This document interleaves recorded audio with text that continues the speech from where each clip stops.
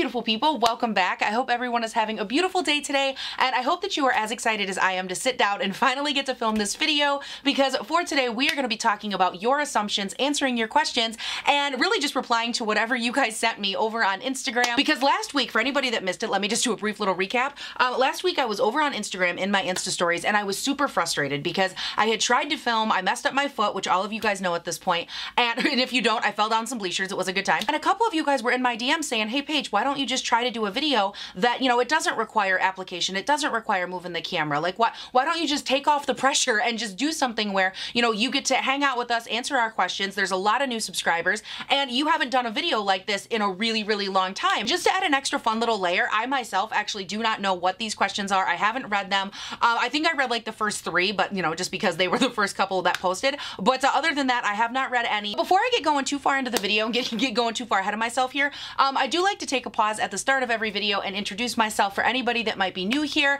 Um, my name is Paige. This is Seeking Alexandria. Again, welcome to the channel. Um, I typically put up three new videos a week, Monday, Wednesday, Friday, and they go up right around like 7, 7.30-ish a.m. Uh, my time here in good old Northern Michigan. So, you know, it's a bright early morning upload. And for anybody wanting to hang out with me more just in like day-to-day -day life, I would definitely, definitely recommend Instagram. Um, that is where I spend the majority of my time. I love to hang out with you guys in the Insta stories. I do unboxings. I do plus size fashion. I do makeup IGTV videos. I do reels. I do little mini reviews. Anyways, with all that said and done, which PS I had to take a second and adjust the camera because apparently my SD card was full. So that, that was super fun. But uh, with all that said and done, like I said, let's get into the, uh, the actual questions, the assumptions. And the first one I'm seeing here is sweatshirt. Where did you get it? And on the day that I posted this, I believe I was actually wearing um, a new shirt that I just got. It said Luke's Diner on it. And I will go ahead and make sure that I have that link down below because it is from Torrid and it is super duper cute. I really like it. Um, and I just, I think, I think it's funny. That's the first one I see. I'm like sweatshirt. I love sweatshirts.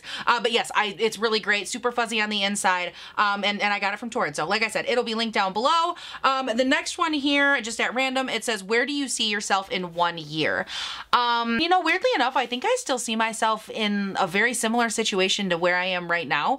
Um, not, not in like a pessimistic way or because it's bad, but just because in a year, I, I still see myself, you know, with my family business. I see myself still on YouTube. I see myself still trying to grow my Instagram, which by then hopefully I've hit 10,000 followers. I will say that. What I think what I'll do just to just to add to that a little bit here, I do hope that in a year I see growth and not just the kind of growth that happens in numbers or money or you know like like life kind of stuff. I hope that in a year I see more internal growth because for a while and I'm, I'm like I said I'll always tell you guys kind of what's up what where my mind's at um and for a while there I didn't really do a lot of like growth within myself. I just I quit writing, I quit caring about like photography. I, I quit caring about so many things that I like genuinely do love and enjoy. And so over the next year, I see myself um, growing in those areas because I finally started putting emphasis on them and started caring about things that I used to care about a long time ago, which is actually part of the reason that my Instagram has been going through a lot of changes. That's why I started doing like more of like the plus size fashiony kind of things where I've been taking photos, really learning that it's okay to enjoy the things that I like. Like it, it's okay to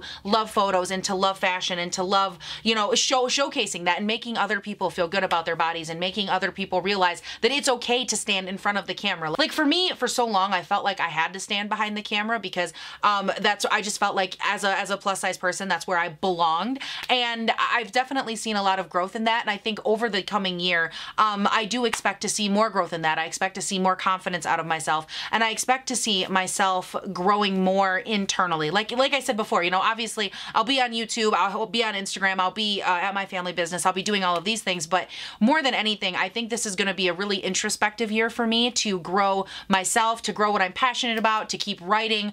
Because uh, for those of you that don't know, I actually really love to write, and my goal is to write a book. Um, and uh, I, I, see these things growing about myself a lot more, I think, than anything external. Um, so yeah, I guess that's my answer. Good question. Damn, that was a good question. All right, so now I'm gonna go into one that I'm actually seeing a ton of times in here, and it's people wanting to know about my channel name, Seeking Alexandria. Why did you choose it? What's the backstory? And so for those of you that don't know, um, my name is actually Paige Alexandria. That's my middle name. And when I was younger, I used to say all the time that um, if my name was Alexandria, I would be better because I, I, hated my name Paige. I absolutely hated it. I thought it was the worst name in the world. Um, and I used to always say that like, oh, well, if my name was Alexandria, I wouldn't be afraid of heights like, oh, if my name was Alexandria, I would be, you know, smarter or I would be this. I could climb trees. I could da da da da da. Because as everybody knows, when you're a kid, you automatically automatically um you you put way more emphasis and value on words and like um you really almost create personas around certain things. And that was me with the name Alexandria. Like I, I had this this person built up. I mean she was basically a princess okay? She was a princess. She was courageous. She was super smart. She could do anything. She was beautiful.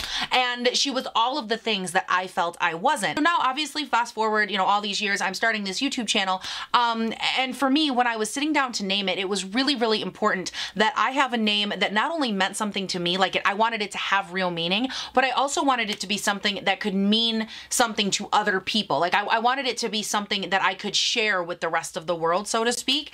And so the name Seeking Alexandria is I'm forever seeking the girl that I thought I wasn't. Like I'm always seeking that better version of myself you know the girl that could climb trees that was courageous that was beautiful and I am seeking that girl um, just in the same sense that I think the entire world is always seeking the better version of themselves. You know, you're, you're always seeking that person that isn't afraid to take chances. You're seeking that person that, you know, isn't afraid to do XYZ, whether it's on the inside, on the outside, uh, what, whatever it is, we're always seeking the better version of ourselves. And so for me, seeking Alexandria is me seeking the girl um, that I was trying to be when I was a little girl. It's always just seeking, seeking that person that I didn't think I could be, but ultimately, obviously I can be because I'm sitting here. Obviously this is an ongoing thing. You know, there are times where um, you'll find courage and you'll lose it. You'll find this and you'll lose it. But the idea, the, the central concept is that no matter what, I'm always seeking Alexandria. I'm going to seek the person that I thought I couldn't be because I want to seek to be the better version of myself. Anyways, just to wrap it up here, because I just looked and realized I talked for 15 minutes, so I'll definitely have to edit her down. Um, but uh, yeah, essentially we're just all seeking the best versions of ourselves, and I am seeking Alexandria, hence seeking Alexandria. So moving on to the next one, it says, I assume you're super confident. Um, I would say I have confidence for sure, like that. Yeah, I, you know, I'm confident. I carry myself well. Um, but I don't know that I would say I'm super confident because I definitely doubt myself all the time. To answer your question, yes, I'm confident. Um, I'm confident in myself, in my abilities, how I carry myself. Um, I don't know that I'm super confident, but I am confident, and uh, I, am also uh, confident that someday I will be even better than I am now. But it's definitely a learning curve, especially, you know, I didn't grow up with a lot of confidence. I grew up not really feeling the best about myself. And so it's all been kind of, um, it's all been a learning curve. But yes, I, I am confident, just not super confident. All right, so just so you guys know, you know, just in case it looks different, I did add a light up front here um, because it is like so dark outside, which, which, obviously means it's super dark in this room. So I'm not sure if it's gonna help or not, but you know, we'll see. But you know, you, don't really need to like see me perfectly, okay, just to hear the answers. Uh, but if it looks different, that's why. Um, Kira, Kira said, I assume you like to be a penny pincher and you can't resist a good deal and you like to go thrifting. Okay. Oh, let me just pull up my sleeves. Okay. Um, I I freaking love thrifting, okay? I love thrifting. Goodwill, Salvation Army, garage sales, girl, you name it. Facebook Marketplace, okay? Like, I am the queen. I love to thrift. Although I will admit, for me, look at me, I'm like getting all situated. I'm like, oh yeah, let's like, let's talk about thrifting. Let's talk about good deals. Um, for me, Facebook Marketplace doesn't have like the same the, the same uh, allure for thrifting as like all the other ones do. And maybe this is just because I was born in like 1989, but I always in picture like when I when I imagine like my best thrifting days, I, there's something about having to like really wade through like tables and racks and piles of crap you don't need and push your way past like the the 1993 fashion bug t-shirt and then the the 1960s poodle skirt and everything smells like mothballs and there, there's just something about um like that whole that whole thing um um, that it just really does it for me. To answer the question, yes, I do love to thrift. I do love a good sale. I think for me, what I love about thrifting is threefold. Obviously,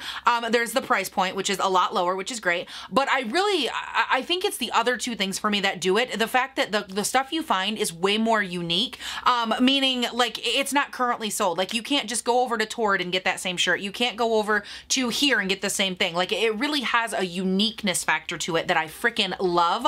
Um, and it just, I feel like for me, it makes the pieces that much more individualized, which is fun. Then for me, the third thing that I love about thrifting is gonna be really weird to explain. Um, but those of you that also love to thrift, you will totally understand. So you're just gonna, you're gonna have to verify and like help me out in the comments on this one. But for me, the thing I love about thrifting the most is that I feel like there are certain things that you connect with, like certain items that when you find them, it's, it almost, it like, it hits you in your soul. Like I find things like a sweater, for example. This is, this is a, a great example. Um, I was at Goodwill probably probably three-ish years ago and I found a sweater. I still have it to this day. I posted it on Instagram the day that I found it. Um, so I'll, I'll put a picture up on the screen. But I found this sweater and the moment that I saw it, like I held it in my hands and I was like, like it, there's, it literally spoke to my heart and soul. And I couldn't tell you where this sweater was from. I've never seen it before. To date, I've never seen another one like it. It was everything I wanted all in one. It had neutral tones, but it had chaos. It had all these different, you know, shapes and textures and designs, but it had um, also like this uniform feel. And I really can't describe it any other way than that. You know, any other way than to say sometimes you find pieces when you're thrifting and you feel like you just found um, you, you found an extension of yourself. Like you you found something that um, that you wanted, like you like your heart and soul wanted. Like it just checks all the boxes. And for me, that is why I love to thrift because I feel like I can not only shop, you know, people's closets from now because obviously, you know, people are going in and donating stuff all the time, but it goes farther than that. I guess a good way that I could also kind of spin this, you know, where it maybe makes more sense is that I feel like, and don't, get me wrong, you guys know I love to shop. I, I love fashion, like whether it's now, old or whatever. I don't care. I, I love fashion as a whole. But if I go shopping right now at any store, pick a place, you know, you got Maurices, Target, Torrid, whatever, American Eagle, I don't care. Uh, but if you go shopping at any of those places, you are shopping the right now. What that means is that you are shopping quite literally the cut, the style, um, the, the trends of right now. But when you go thrifting, you're able to get that same thing, but it's it's like extended through all the decades that we've ever had. So you can quite literally go in and you can shop right now's trends. You can shop trends from the 90s, trends from the 80s. And ultimately, when you leave that thrift store, you can leave with a freaking corduroy skirt from the 90s. You can leave with a blazer that has shoulder pads bigger than my face from the 80s, or you could leave with like a regular crop top from right now, or you know, 2019 to 2020. And all of it is going to be a good bargain. It's going to be things that you enjoy. And then even, you know, one step farther than that, you get to go and you get all of these weird transcended like different pieces that are not of right now and you get to take them home and and give them a new life and give them new new purpose, new meaning and reinvent them into 2020. And I just I don't know. I, I know I know it's a long explanation, but I guess for me the the whole thrifting conversation it's just it's so much more than just, you know, getting a good deal. Like it's it's more it's more than that. It's just I don't know. I feel like it's all encompassing. Like it just it, it's it's almost like sometimes when I go thrifting, I guess is the best way to explain it. Like sometimes when I go, um, I feel like I get to learn more about myself and more about my style because it's not right in front of me. Whereas, you know, like I said, you walk into Target or Torrid or any of those, and they are going to tell you your style as of right now. But when you go thrifting, you get to rediscover that and like learn it for yourself. And you know, I guess for me, I never even realized until I sat down and just gave a 20 minute explanation, um, which I can't wait to edit this down too. Um, but I never realized how much because I've never put it into words, but I do. I just I love thrifting and it's it's just such a part of me. Like my my my mom and my grandma both raised me to do it, and um, I think doing you know going thrifting and and doing these things and kind of cultivating your own style, it really does create that feeling as an adult. Also, I just went ahead and I scooched back like away from the camera. Um, I'm trying to like adjust the the white balance of it. Look look what is this? I don't know what this is. This is the the white balance little shuffle I guess. Um, but I'm trying to adjust it and I I, I don't think it's helping, but you know what? That's fine. Um, let's just pick another question here. It says, who was your inspiration? Oh, this is good. Who was your inspiration to start a YouTube channel? God, I love, this is a great question. Okay, I think my answer for this one, it, it's it's kind of weird because I didn't really have like a specific person or, you know, uh, yeah, person that was my inspiration, so to speak. Um, I would say it was multifaceted. So number one, as an adult, you know, obviously I grew up and I'm growing into my confidence and I grew into myself um, and I, I grew into my attributes and, and and being able to hold my head high and be confident in who and what I am. But I always think back to the little girl that I was, you know, whether I was five years old, six, seven, all the way up to when I was 16, 17 years old. Um, I look back at her and I think there are so many things that it, it would have been so helpful to her if she could have had um, an older kind of mentor or someone that she could look to that was like her, you know, you know, somebody, somebody that could have understood um, being overweight, that could have understood depression, anxiety, um, like uh, eating issues, stuff like that, because I, I, grew up with those and more, and, all of it was inside of me. Like I couldn't figure out any any way to to make it make sense to the outside world. I didn't have anybody that I felt like I could watch or listen to. Um, and and really, you know, growing up, it just in small town, you know, northern Michigan in general, um, it, it's you don't oftentimes find um, people that are, I guess you could say, like me. And so not only did I have that, you know, kind of pushing me towards, you know, wanting to do this. Like I wanted a way that I could be there for those, you know, those younger kids, but I also really, really wanted to find a way that I could be there for people um, with chronic illness. Because that's something that especially like I would say right around the time I hit 24, 25, I really started trying to find a way that I could um, connect with people, you know, a, a way that I could push the, the message and the understanding and the care and the love that, you know, your life, it doesn't end at diagnosis. Like just because you go to the doctor and you get told um, something really, really awful, something that hurts, you know, you, you get an answer that maybe you wanted the answer, but you also didn't want the answer like all at the same time. Um, I wanted a way that I could talk to and connect with those people. And so I guess for me, that's the answer. I just, I, I wanted, my, my inspiration was wanting to be there for other people and wanting other people to feel understood and to know they weren't alone.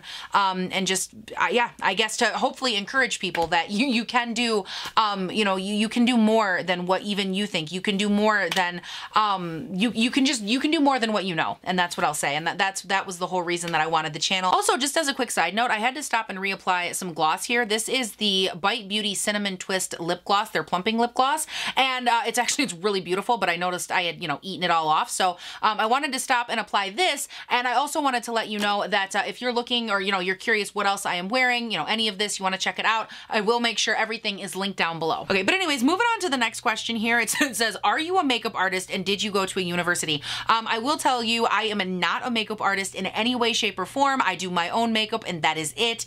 Um, I do get asked from time to time, like, hey, would, you know, would you do my makeup for this? I know you love makeup. Would you do it for my wedding, for pictures? And I always tell everybody no, because not only am I not qualified, but I'm also not good at it. And so I really don't think that on your wedding day, what you want is me, you know, trying to do your eyeshadow and stabbing you in the face. Um, so, so no, I, I don't do other people's makeup. I am not a makeup artist. And then the second part of that says, did you go to a university? Which I did go to a university, um, but I ended up not finishing because I got really, really sick. I had to have an emergency surgery. And then by the time I got done with the surgery, done with all of the follow-up care, and, and I started to feel good again, um, not only was I way behind on the college front, but we had already started our family business. And so instead of going back to college, I made the decision to go into business with my father. And honestly, for me, the rest was history. We, we've been in uh, we've been in our family business now for uh, over 11 years, over 11 years, and um, I, wouldn't have it any other way. My, my my parents are both amazing. My dad is my business partner, and he is he is fantastic. He's an amazing, amazing, honest, righteous, just fantastic, smart fucking guy, and I, I love him to death. And actually, you know what? This kind of segues perfectly into another question. Why are you so private about your business and what you do? And this is a question that I do get asked a fair amount, actually. For me, the answer is pretty straightforward. You know, I, I've always viewed my YouTube and my relationship with the internet, whether it's here, Instagram, wherever, but my relationship is just that. You know, it's my relationship. I'm the one that chooses to put my own face out here. I'm the one that chooses um, to give you guys all of the information about me and, and to be open and to share um, so many parts of my life with you. And obviously, I don't regret it. I love doing it. I, I honestly, it feels like um, more often than not, it feels like it's what I'm supposed to do with my life.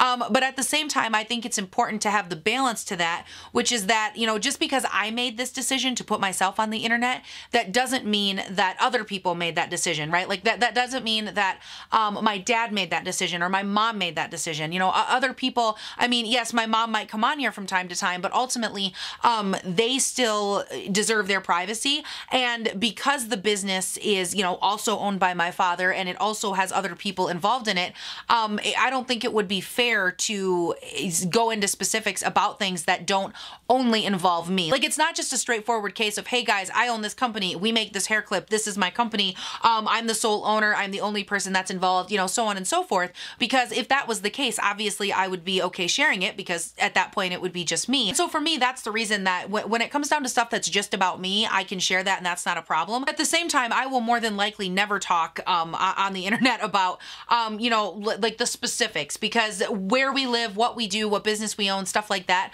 um, it just, it, it, does involve other people. And so th those are questions I will never answer. Like I said, for me, I'm pretty much an open book. You know, I'll share a lot, but just where other people are concerned, namely my parents, my family, um, I won't ever really talk about like where we're from, you know, or where we live, what we do, our business, stuff like that, just because I'm not the only person it affects. also, by the way, there are so many questions in here about um, dating. I think I think my favorite one says, yeah, you you've I, I assume you've had many boyfriends. That's a great assumption.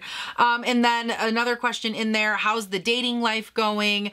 Um, you have a boy. There's another. You have a boyfriend you're not telling us about. Um, uh, lots of questions about the men. So um, for this one, what I'll say, and I think I've talked about this before, but um, on the, the, the, the, dating front, I, I got out uh, a couple of years ago, I got out of a really bad relationship that I was in for five years. And that relationship de- definitely needed to end. And um, without going into too many details, again, all I'll say is that it was a really bad relationship. There was um, a, a, lot of changing of who I was and um, a lot of manipulation and a lot of me losing myself um, in that relationship. And so coming out of it again a couple of years ago, I wanted to take time for myself and I wanted to get to learn who I was and to learn um, what what it was that I truly enjoyed. Like what are my passions?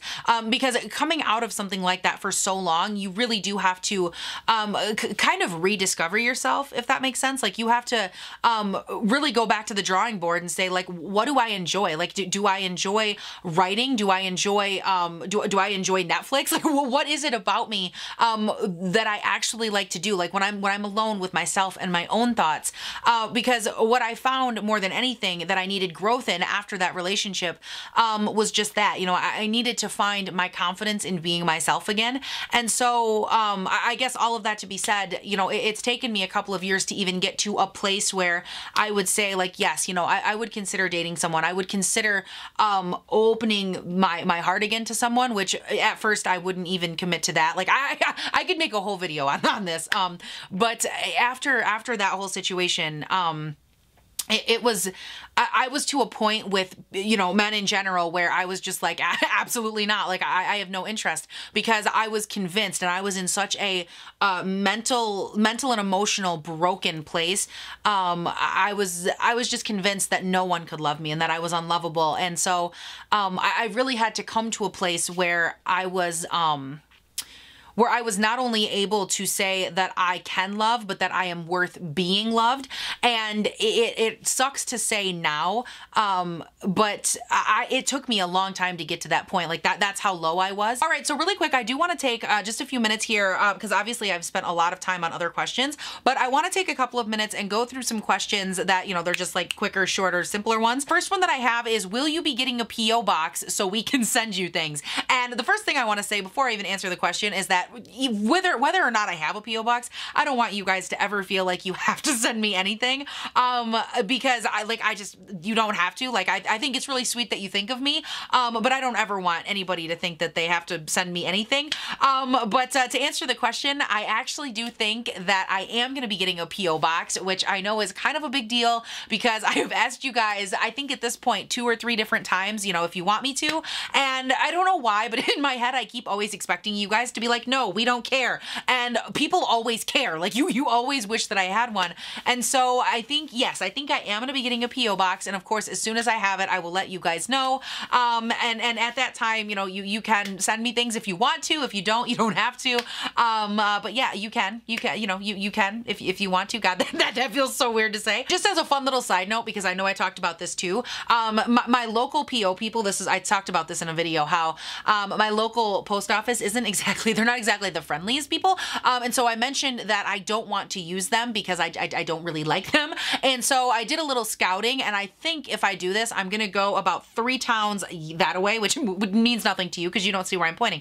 But I think I'm going to go like three towns or whatever over there, um, over in that direction because I, when I was doing my scouting and like I started asking all my friends, you know, all the business people around, um, and they all said that uh, this one particular post office is really, really sweet. The people are great and um, they're just, they're really easy to deal with. I guess the end of it all, y'all, is that I am gonna have a P.O. box soon. So get ready, cause here I come. I'm gonna be finally stepping up into the realm of every other YouTuber. Um, and I'm finally gonna have a P.O. box. So get ready, cause it's it's gonna happen. All right, now the next one says you're a strong, independent woman. And I don't know if that's an assumption or if that's just a statement, but either way, I'll take it and thank you for it um, because it does mean a lot to me. And I, I love that that is how I, you know, kind of come off. I like that that's conveyed because it means a lot to me, especially coming out of that relationship. Um, it, it, means a lot to me that I am strong and that I am independent because I, I always want to know that no matter what, I can take care of myself, I can take care of other people, and ultimately, just regardless of who's in my circle, the people that I love, I know that I can I can take care of them and I can always help them and that is a huge huge thing for me i just I, I, like being i like i like being strong and independent but to the flip side of that i also know that you can't be too strong and too independent because then you push people away and so um, I'm definitely working on finding that balance, but you know, thank you. I'll, I'll take it. I'll take strong, independent woman all day long. Yes, please. Next one. Are you always 100 miles an hour when you aren't filming? yes, I am. Ask, ask anybody I work with. Um, and yes, I'm 100% um, always 100 miles an hour. It's just who I am. It's how I talk. It's how I exist. Um, it's, it's probably why I fell down the bleachers. Who knows? Um, but yes, I'm always like a very quick pace, quick thinking, quick witted, quick, quick everything. Okay. I just, I like, I like to be, um, I, I like to be very succinct because I hate wasting time. And so yes, I'm, I'm always 100 miles an hour, always. So the next one says, why don't you ever react or respond to DMs? And uh, that's kind of an interesting question because I, I do react and respond to DMs. Um, I will say, to be fair, I don't always get to all of them because there's obviously a lot of people, but I do get to them as often as I can, as quickly as I can. Um, even just, I think it was last night or the night before, I sat down and I uh, replied to like 30 different people. So I just, maybe, I, am not really sure. I don't know. I This is a screenshot. I can't click, but um, I don't know if maybe I just haven't replied to yours specifically, but I do my best to go through them and to reply to as many people people as I can as often as I can. Um, but I'm sorry if I didn't, you know, do it with yours specifically. But I do try. I promise. I, I try um, as much as I can. I just have I have a lot going on, so I try to try to spread it out. All right. So I have two questions I'm going to answer, and these are going to be my final two. And the first one says, Would you rather create your own makeup line or clothing line, and what vibe would it have? And that is such a good question. I think. I think for me, I would have to go clothing line because uh, I, I, do love makeup, obviously. I think that that's painfully obvious at this point. I think for me, I would take a look at both of them and say, which one could I actually um, really contribute to the industry? And I feel like with makeup, there's already a ton of options. It's super saturated. And ultimately, like people just wouldn't really need, you know, quote unquote, need my perspective on makeup. Like I just, I think a lot of it's already been done. And quite frankly, there's a lot of people out there with way more talent than me that do it and I think that they do it very well. So I definitely think I would go more in the clothing direction um, because I know, especially, you know, given that I am plus size, I know that that's an area where I could make change. I could make people feel good about themselves um, and I could create um, kind of like what I was talking about earlier. I would be able to create the change that I wish was there. Um, and within the plus size clothing realm, it's really, really difficult to find any cohesion. Like it's just, it's a really difficult space sometimes to navigate. And so I think um, going into that route, if, if again, if I were to pick one, I would say plus size clothing because as a plus size person, I've been plus size basically my entire life. And so I know not only what looks good on me, but I know what makes me feel good. And I think if you can find a way to, you know, package that and bring that to other people, I just think you could have such a big impact on so many people's lives. Um, and so I think for me, I would definitely go in that direction. As far as what kind of vibe it would be, I would see everything from loungewear to casual to casual business business, like right in that sphere, because I don't, I, I don't really see myself designing stuff um, that people couldn't use all the time. Like that, that would be a big passionate part of it for me is designing like everyday clothing that every day you get to feel good in. Um, so I definitely think it would have more of like that kind of a relaxed vibe, but there would definitely be some pieces of it that were, you know, more business or more, more structured because I think that um, that also really can have a lot to do with how people feel about themselves. But I would definitely still say like somewhere in that range because I think um, practically it would just, it would do very well. It would hit a lot of people and it would just, it would, like I said, it would really impact the confidence of the most amount of people. So I would definitely go um, in that range. All right. And then the last question I have is it says, I assume you have a lot of friends and that you meet new people and make new friends doing mundane tasks. And I is 100% true. Um, I am that person. I make friends with everybody. I, I befriend everybody, um, whether they're, you know, the, the, McDonald's I go to all the time to get my Diet Coke, if they are at the Walgreens I go to, if they're at Meijer, um, it, it, doesn't matter. I just, I, I love getting to know people. I guess for me, that pretty much sums up everything. You know, I just, I, like me, whether it's this, the YouTube, whatever, um, I just, I love people and I love getting to hear their stories. And I think we live in a world where